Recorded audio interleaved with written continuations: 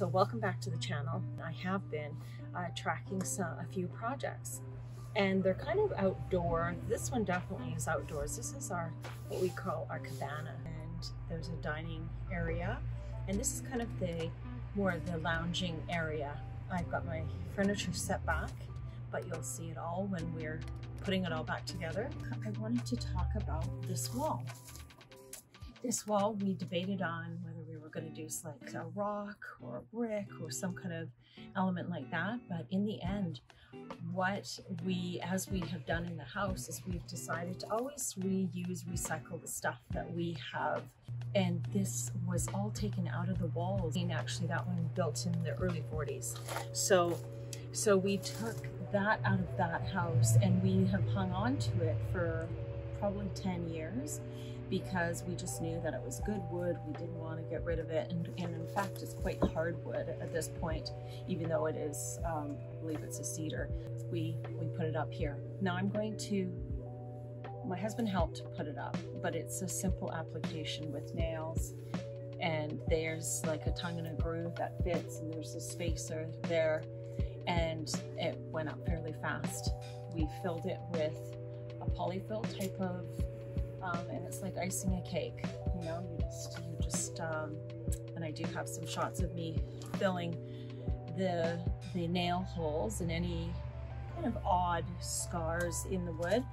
I filled those because I'm actually putting paint. I'm gonna paint it.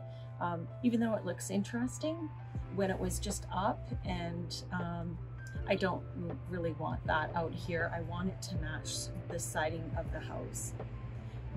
Tools that I'll use, of course, the gloves, save the manicure. Um, I have glasses on today. You should, if you don't have glasses, wear proper safety glasses. It's gonna be a nice arm workout. I'm gonna just stop the, the audio on this and I'm gonna continue uh, watching myself struggle with uh, the sanding. But this is a belt sander and we're gonna buff off the, the wood, try and not wreck the ceiling.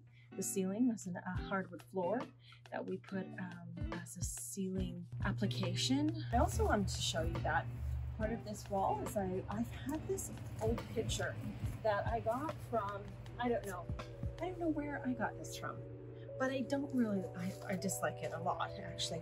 And I thought, well, I'm not gonna just throw it away. I'm going to order a print that I like that kind of is in, in keeping with, you know, a cabana or the swimming pool. I purchased a print and I'm gonna apply it somehow. I'm not even quite sure. Perhaps Mod Podge will come into play. In other in other aspects around the corner, I'll show you there's a little changing room and then a little storage room that also has shiplap that, that will complete with uh, finish and paint. But these are kind of fun. These were from Vistaprint in the in keeping with kind of the pool theme, but also uh, Palm Springs. Palm Springs. So let's get started.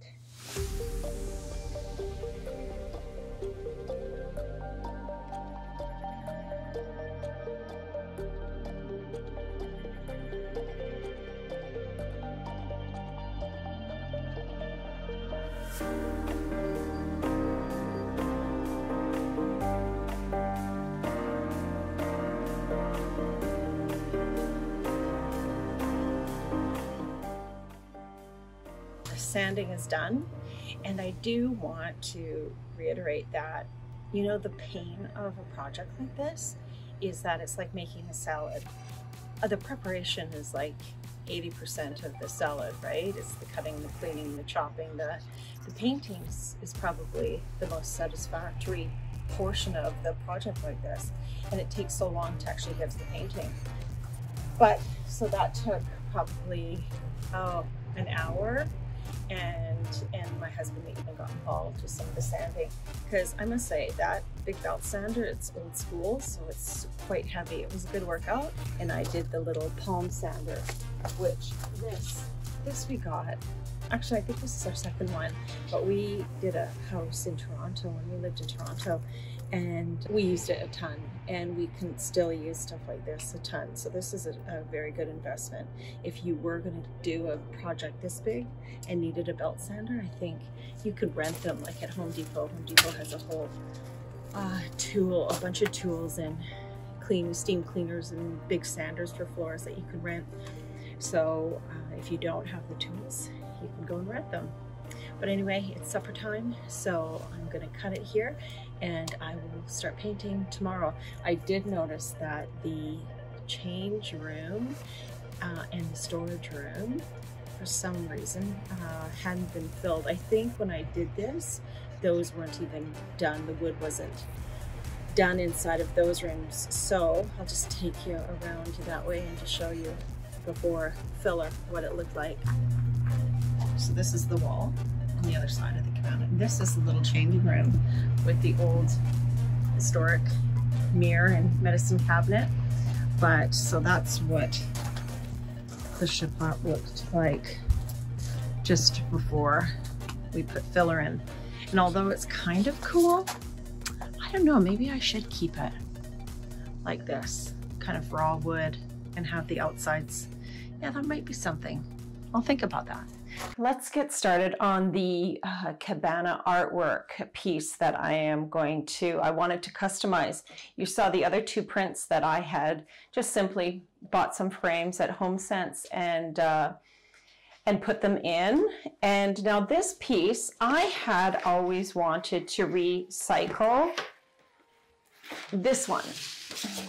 It's a big, it's a big square. I can't remember the, it's a 24 by 24 my print that I had have uh, won't won't work because it is a portrait and this is a perfect square. And I thought maybe I could paint the outer part black and maybe cut this print to make it okay on a square but I just couldn't find a way that I would I would like to put this poster, old ad from Coppertone, which is fun. I think it was from the 60s, the Coppertone Girl, and the days that we used to promote sun tanning. Yes, that's why all of us that are this my age are now dealing with sun issues on our skin. So the first thing I want to do is kind of lay out this print and put this over top of it and find the perfect spot to cut off. And you'll see that I'm not actually going to cut. I'm going to score it and tear it. So just equal distance from the edges. I guess I'll go through the tools that I have. So I do have my new canvas. That's a black canvas. I have a ruler that I'll use in a two, two different ways.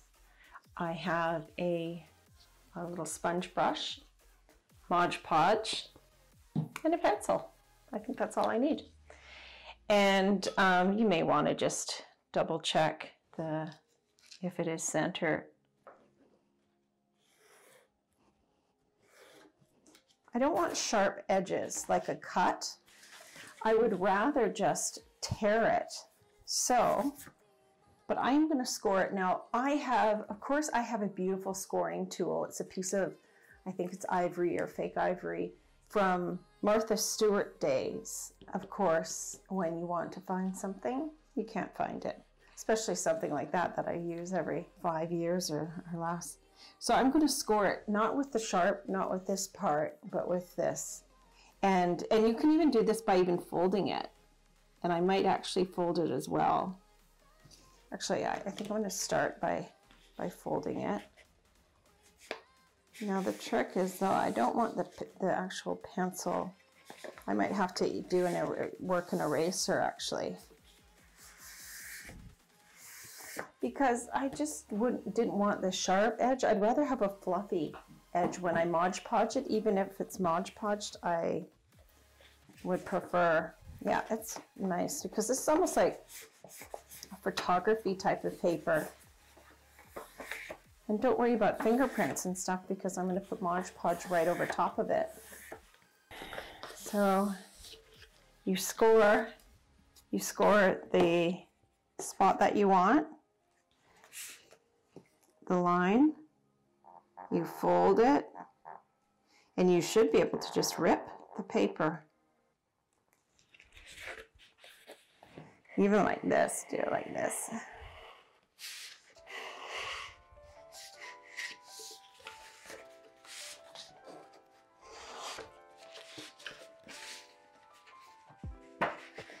And I might use an eraser if there's any pencil mark.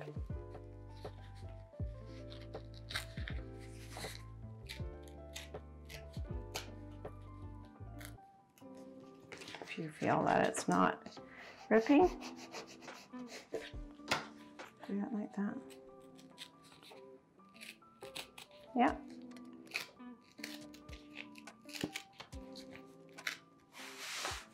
You can see that.